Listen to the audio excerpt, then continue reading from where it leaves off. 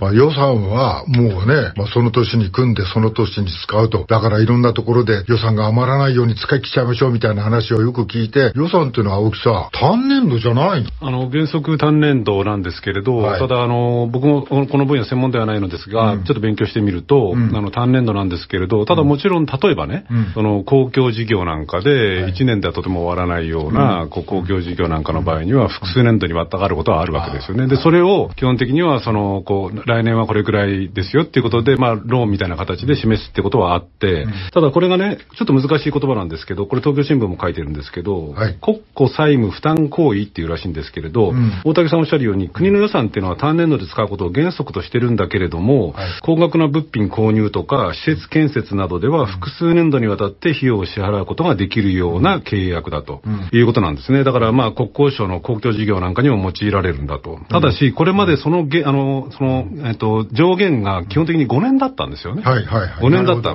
で、だから5年後にはそれもチェックするっていうところだったんだけど、今度その防衛費の、その自衛、あの、武器を買ったやつに関してはもう10年を、こう、まで OK にしちゃおうっていうことなわけですよ。で、これって、やっぱり一番問題なのは、あの、国家権力っていうか、公権力ってあの、が一番じ、なんかチェックされなくちゃいけないのは、我々が納めた税金をどうやって使ってるかっていうことを、国権の最高機関たる国会でチェックをする。まあ、予算の使い方をチェックするっていうのは、これ一番財政民主主義で一番大事なところなんですけれども、このチェックがやっぱりこの以前、あの、これまでに比べると防衛費に関しては非常に緩くなってしまうっていうことと、これ、これ東京新聞書いてるんですけどね、これ結構深刻だなと思うのは、例えば24年度、2024年度の予算の防衛費、これが7兆9500億円くらいらしいんですね。で、まあ、この多いか少ないかっていう議論はとりあえず置いて、このうちの半分が、もうローン契約の支払いなんですよ。あ、そうなんですか？そうなんですよ。だからもう、防衛費増やす増やすって言って、これ、まあ、これから増やすんですけど、増やしてるうちの半分はローンの支払い。で、残りの半分っていうのは、これ自衛隊っていうのはね、実を言うと僕これ、あの、前、防衛庁長官の経験者の人に話してなるほどなと思ったんだけど、実は、給料とかね、自衛官の給料とか、あと食事代とか、そっちの固定費っていうのがすごいかかって、だからね、この、このだからさっき言った通り、来年の、来年度予算の防衛費7兆、まあ、およそ8兆円のうち半分がローンの支払いで、半分はもう人件費と糧食費に充てられていて、もうこれでこう、かっちりちゃってるっていうんですよね。で、しかもこのローンの支払いっていうのは、これからどんどんどんどん増えていくと。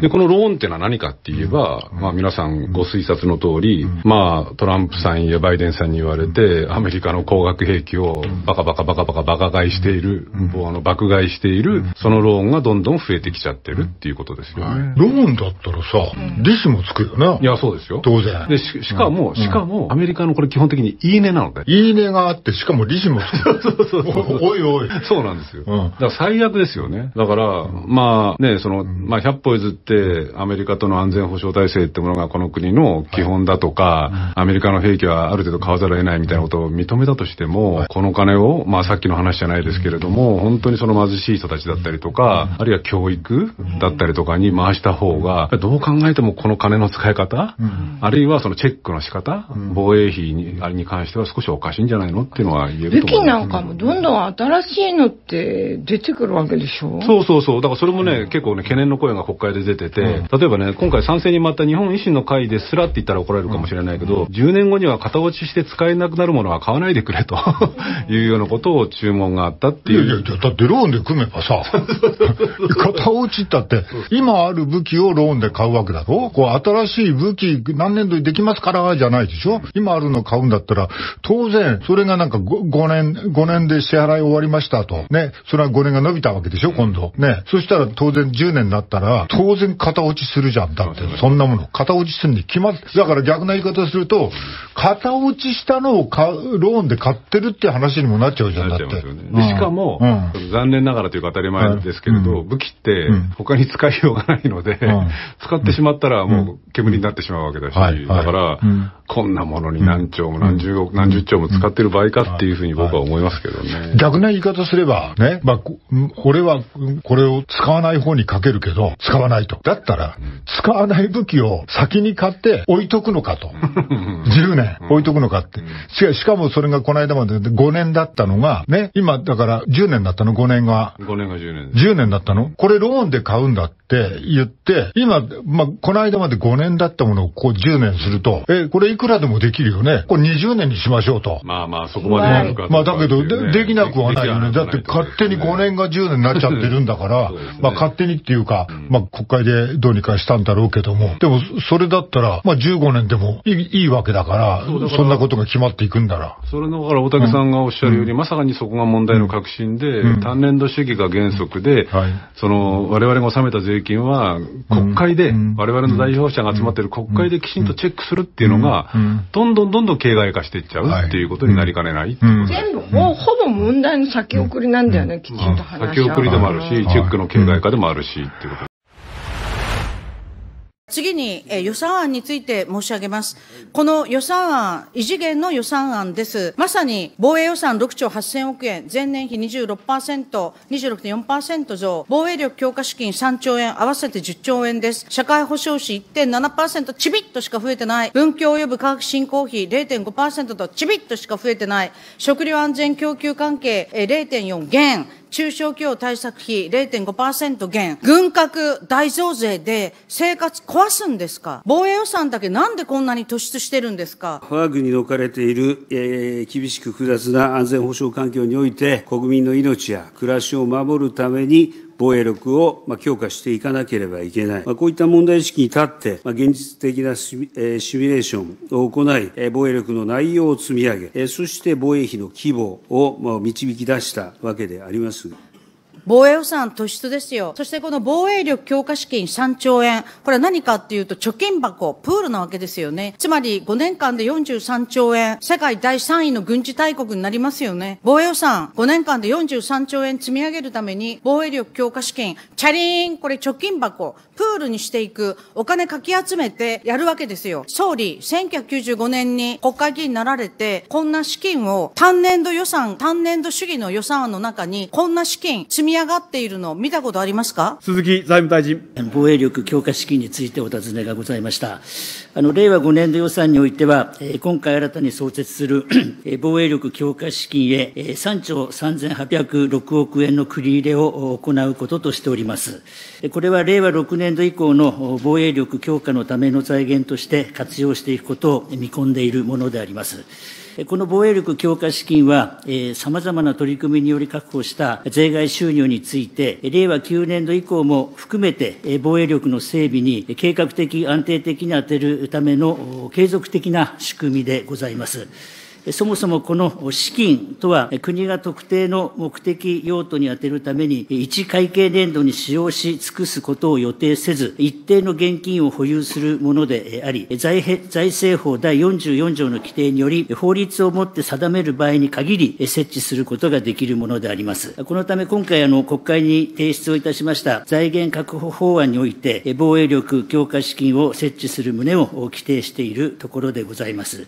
で、あの、先生から単年度主義の観点からのご指摘もあったと思いますが、この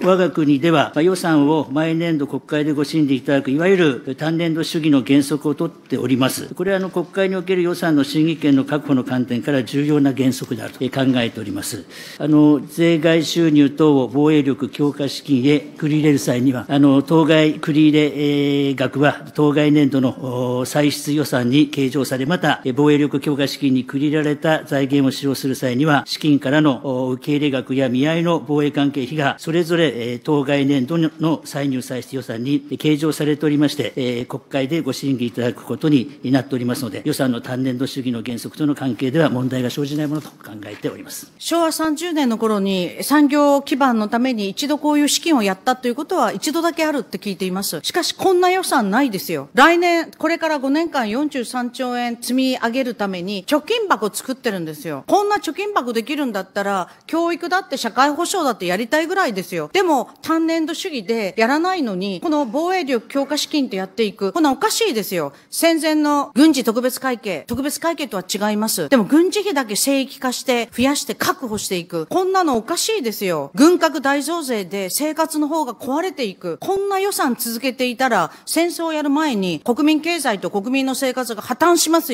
そのことをみんな本当に心配している。こんな予算とても認めることはできません。次に、防衛力強化法案、防衛省が調達する装備品等の開発及び生産のための機器の強化に対する法律についてお聞きをします。弾道ミサイル等による攻撃を防ぐために、他に、えー、手段がなく、やむを得ない防衛費のあの問題についてあの質問をさせていただきます。あの、今、円安でですね、あの、大きく円の価値があの落ちてしまっています。あの、防衛力整備計画の時は108円だったものが、えっと、135円ですかね。令和5年度の概算要求では、あの、計算をしているということであります。そうすると、防衛力整備計画のこの43兆円ですね、43兆円のや枠内でやり取りをするのかと、あの、質問を聞かれたら、これは閣議決定の数字なので、43兆円の中でやり取りを、やりくりをするというふうに言っております。ところがもう一つ大事な数字がの明らかになっておりません。この43兆円の大層がベースとなっているですね、あの物件費ですね、防衛省がこの5カ年の計画に基づいて、あの様々あの装備品を買ったり行っていくこの物件費、この契約費、その合計を43.5兆円というふうにあの計上してるんですが、この43.5兆円兆円は今のこの円安、あるいはこの物価高騰の状況の中でも政府として維持をしていくつもりであるのか、あるいはこの43.5兆円を超えるということがあり得ると考えているのか。防衛力整備計画でありますけれども、その実施に必要な防衛力整備の水準にかかる金額である43兆円程度、およびこの計画を実施するために、新たに必要となる事業にかかる契約額である、今ご指摘のあった43兆5000億程度という金額もまた防衛力の抜本的強化が達成でき、防衛力防衛省自衛隊として役割をしっかりと果たすことができる水準としてお示ししたものでありまして、この43兆5000億円程度という金額もまた閣議決定された金額であります。従いまして、この定められた金額において、の範囲内において、必要な防衛力の強化を着実に行っていくこと、これが防衛省の役割であるというふうに考えておりますあの今、43.5兆円の範囲内であの行っていくというのを明確に答弁されましたけれども、ただ、現実にこの円の価値はあの落ちてしまって、かつ物価は高騰しているわけですけれども、そうすると、どういう工夫やあの対策によって、この43.5兆円の中でやりくりをしていくのでしょうか？まあ、昨年来、もう国内外において、えー、まあ、全般的な物価上昇は継続しております。これは防衛省のみならず、日本のあらゆる産業が影響を受けているところでありますが、まあ、このような厳しい状況においても、まあ、防衛力整備の一層の効率化合理、合理化を徹底するとともに、まあ、経費の精査や、またまとめ買い、えー、長期契約の、まあ、スケールメリットを生かした価格低減策の取り組みを行いつつ、まあ、閣議決定された防衛力整備計画に基づいて、えー、防衛力の抜本的強化を達成すべく努力をしてまいるところであります。まあ、具体的にということでございましたから、少し紹介させていただくと、まあ、合理化策として、例えば昨年、あの、あの全中規模ですね、前中規模と言ってましたけど、中規模、まあ、令和元年から令和4年の中規模での効率化合理化策といえば、例えば、え、あの、一つだけ言うと、救難救助機の UH60J やまた空中給油輸送機の KC46A の、まあ、一括調達などをやっておりました。そして、まあ、結果として合計で1.7兆円の縮減を、まあ、実現したという、そういう実績があります。で、まあ、現行のですね、防衛力整備計画の中においても、まあ、すでに、まあ、今、まだ1年目でありますが、えー、例えば、護衛艦搭載用の垂直発射型装置の一括取得などを行って、まあ、約2600億円の縮減の行っているところであります。43.5兆円の範囲内でやりくりをするという答弁がありましたけれども、それはすなわち43.5兆円、まあ、43兆円の前提、あの、根拠でもある、極めて現実的なシミュレーレーションですね。あの防衛力、防衛体制というのは、あの、変わらない。そこには影響がないということでよろしいですか？まあ、極めて現実的なシミュレーションに基づいて策定された防衛力整備計画でありますから、えー、まあ、その防衛力の抜本的強化を達成すべく、それは努めていく所存であります。この43.5兆円ですが、まあ、極めてこのおかしい補正予算を定めた財政法29条違反が起きてるんじゃないかという問題意識なんですが、この令和5年度の先般の補正予算には、あの、2050億円というですね、いわゆる施設整備の費用が計上されております。で、これについては、あの、防衛力整備の水準の43兆円と、ややこしいんですが、予算総額の40.5兆円という数字があって、その差額の2.5兆円の内数からですね、あの、約1.6兆円を割り当てて、まあ、これを毎年のこの予算査定で、あの、お金をつけていくという答弁を通常国会で、えー、しているんですけれども、そうするとですね、防衛力整備計画に、まあ、すでにこの1.6兆円という、まあ、計上が、積み上げの計上があるわけですよね。にもかかわらず、この補正予算の29条の条文ですけれども、あの、この特に緊要となった経費の支出と、もともと閣議決定した、あの、予算計画の中で1.6兆円が計上されてるわけなので、当然各年度の予算の割り振りもあるはずなんですが、そうすると、補正予算のこの法律の要件である緊要となった経費の支出には私は当然なり得ないと考えるんですけれども、あの、あえて聞きますが、もう防衛省と残念ながら財務省でですね、もう財務省も頑張っていただきたいんですが、政治的な圧力でどうにもならずに、あの、水面下で握って、この施設整備の1.6兆円は毎年度の補正予算で要求をしていく。まあ、令和6年の、あの、概算要求には今入ってないんですね。来年の本予算には入ってないんですね。なので、毎年の補正予算でこの1.6兆円をやっていくという、まあ、あの、水面下の合意があるんじゃないかと思うんですが。財務省、寺岡主計局次長。えー、財政法29条との関係について申し上げれば、えー、同法では補正予算について、えー、予算作成後に生じた自由に基づき、特に緊要となった経費と、えー、要件が規定されてございます。えー、年々厳しさを増す安全保障環境の中で、えー、事業の必要性が高まり、えー、実施に向けた調整等が進めば、えー、そうしたものを補正予算補正予算により対応していくことも当然あり得るのだと、このように考えてございますだからその調整が進めば載せるんだったら、初めから本予算にその調整見込みで、私は載せておけばいいし、それがあの本来の財政民主主義のあり方だと思うんですけれども、あの財務省に行きますが、あの防衛省とこの1.6兆円を補正予算で計上していくと、5年にわたってですね、そういう密約はないという理解でよろしいですね。財務省、寺岡主計局次長、えー、自衛隊施設等の整備のさらなる加速化1.6兆円というものは、えー、事業の進捗等を踏まえつつ、えー、機動的、弾力的に行うと、このように、えー、防衛整備計画の中で定めたものでございます。小西君。あの、まあ、実はこれ、他にもですね、他の予算でもこういうやり方があの散見されるんですけれども、これだとますますですね、我が国の財政規律というのが危うくなって、財政規律が危うくなれば、防衛大臣、あの我が国のですね、国防の前提、その力も失われてしまうわけですので、あのそこはしっかりあの防衛省、財務省であの憲法と法律を守っていただきたいということを強く申し上げます。で、じゃあ、昨年のこの外交防衛委員会で、えー、あるいは財金委員会との連合審査でもずっと追及してるんですが、この43.5兆円ですね、この金額の内訳が、先生方お手元のですね、A4 の紙5枚しかないんですね。146の事業名とそこに1兆円、2兆円、まあ豆腐じゃないんですけれども、あるいは数千億円のあの数字を貼り付けた、この43兆円の3.5兆円の内訳っていうのが、国会にこれしか説明をされていないと。なので、さらにあの詳しい内訳ですね、内容と金額を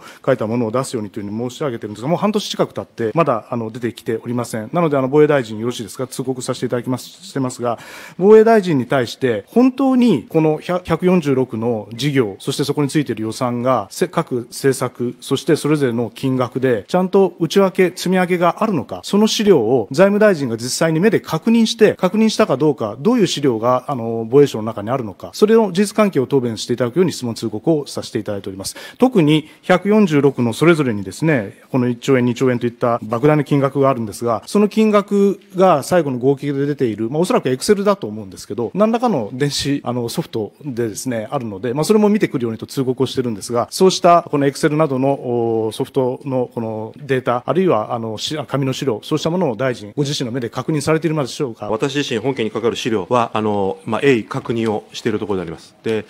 えー、エクセルかどうかということでしたけども、あの、おっしゃる通り、私が見た資料はエクセルのデータでありまして、えー、146事業、そして数万のですね、数万の事業があ書かれておりまして、それの蓄積、になっているような、そういうデータであります。もちろん、数万の数字を全部こう精査したかというと、そこはなかなかまだ時間がかかるおかげでありまして、まあ、当該資料は、まあ、防衛力整備計画の積み上げの内容を極めて膨大な量というところはですね、あの、ご承知おきいただいて、私自身も確認をしているところであります。でしたら、このそれぞれの146のこの事業が具体的にどういう事業で構成したるもので結構ですから、で、それぞれの金額がどういう金額になっているのかを、その資料をこの委員会に提出することを改めて求めます。木原防衛大臣。あの、当該資料というのは、まあ、5年間の防衛力整備計画の詳細にわたるものでありまして、えー、まあ、これらを仮に明らかに、すべて数万の事業を明らかにした場合には、防衛力、あ防衛省自衛隊の、まあ、いわゆる継戦能力であったり、情報収集能力といった防衛上の能力を明らかになる恐れが、あの、ございます。と同時に、防衛関連企業に予断を与えて、えー、装備品の調達に影響を及ぼす可能性もあることから、まあ、あの、すべてにおいてお示しするということは、まあ、差し控えたいなと思っております。堀石君。いや、そのすべてなんて言ってないわけですよね。あの、理事会局長の紙にも書いてある通り、その財政民主主義とシビリアンコントロールの観点から、国会に対して説明しなきゃいけないものをちゃんと説明するということで、大臣も提出するというふうに前回約束して理事会協議事項にもなっていますので、あの、しっかりと、あの、それを対応していただきたいというふうに思います。では、ちょっと次の質問に行かせていただきます。今、あのですね、国立大学法人法という法律の法改正が、あの、議論がなされてあのいるんですが、まあ、ここちらは外交防衛委員会でもございますけれども、